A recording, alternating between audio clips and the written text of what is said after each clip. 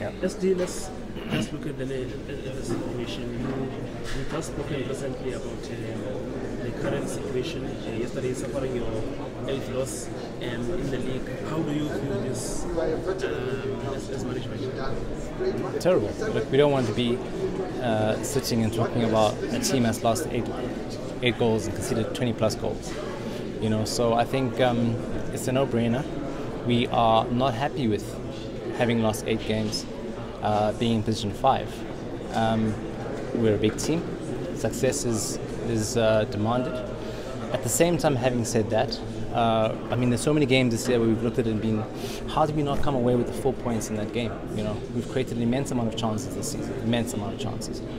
We haven't taken them, and we've conceded a lot of goals. You know, football is is can be a very simple game. You know, you've got to score to win and close the back door. Uh, I think it's very clear for the technical staff, uh, you know, the areas where they need to work on, and I think it's for us side as management uh, to to work on the areas that we see fit and where we can um, contribute to help the technical staff. So I think that um, it's not a good situation to be in.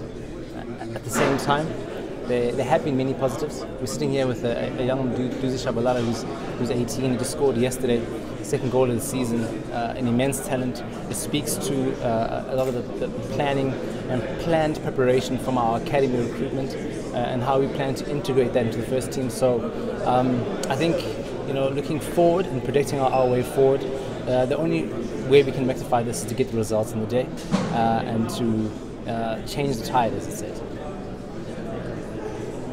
think that the, the current technical team has enough experience to get over this enough? Because obviously you look to experience in players as well, but in the technical team, it's their first time roles as head coaches and assistant coaches. So do you think they have enough experience to get over this? Um, if I had to ask you, what is experience? You know, anyone that has experience, they got it by doing their job. You know, so I think um, we are, as a management again, I mean, this is from the board of directors to the chairman you know, we've, we've given a, a young coach a, an opportunity um, uh, at the helm. Uh, and again, you know, uh, from our side, it's for us to just support him with the right resources, support him with the right players, uh, and provide the right environment for him to succeed. Um, I think just having, you know, looking at the question just asked, um, sitting in position five uh, is not where we want to be. But if you look at the short turnaround time and how the kind of brand of football he's, he's, he's managed to make us play, it's a positive. Uh, and, and, right now it's not a time to talk about you know positives because our, our fans want results, they want trophies, and, and, that's the objective, right? But at the end of the day, um, uh, technical staff are, are, hard at work, and I think, like I said earlier, they know the, the areas that they need to rectify and work on, and I know that they are, are not sleeping tirelessly and they're making sure that they do. Having spoken to the coach previously, yeah. Missed chances and we, mm. we spoke about a lot of things, how things are happening in modern football, um, and we continue to see other teams um, that are at your level and continue to strengthen their technical teams as yeah. well. Is it something that you are considering as part of the support system you're talking about? We've always had, and you always have plans to, to, to build your, your technical team. Um, you need to bring in the right expertise, uh, the right level of expertise, and at the right time.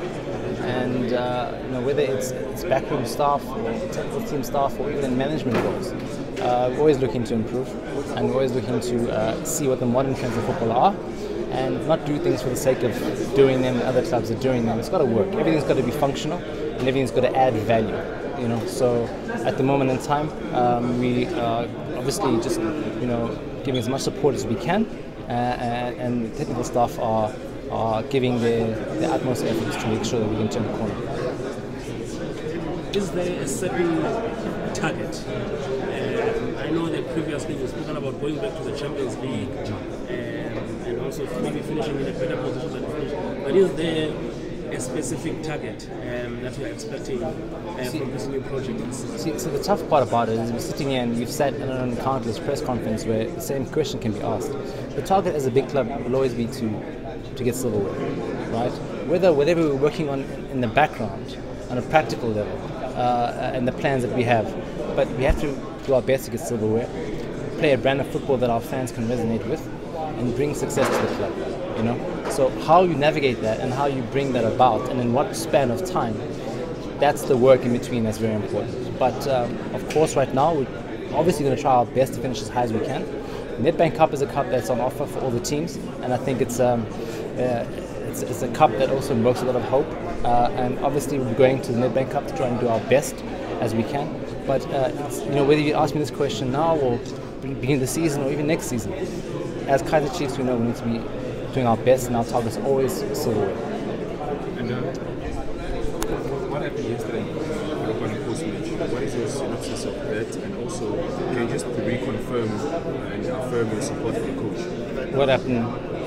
Uh, with the supporters, you know, just uh, seemingly saying, you know, the coach, we don't want to the club and so forth, but it's a small number of uh, supporters. Not, uh, like again, I think uh, it's um, from the, our, board of directors, our chairman. You know, we're fully behind the coach, uh, and again, our job is to provide the right infrastructure and support as we can.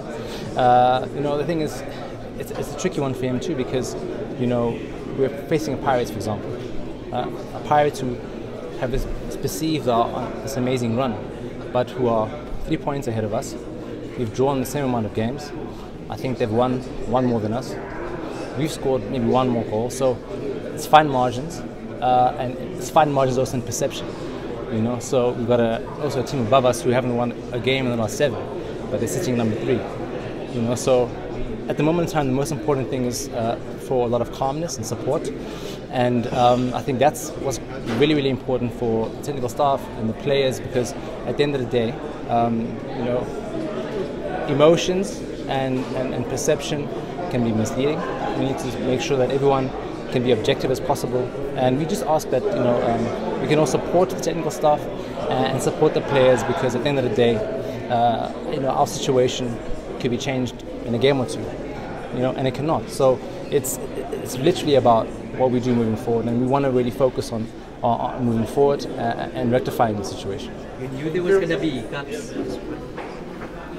you knew there was going to be hiccups. Um, obviously, we're taking such a bold decision at the start of the season, and yeah. it's easy to paint a negative narrative. Yeah. But what are the positives that you can take from the season so far? Well, a lot of positives is that we've gone back to our culture of integrating our youth.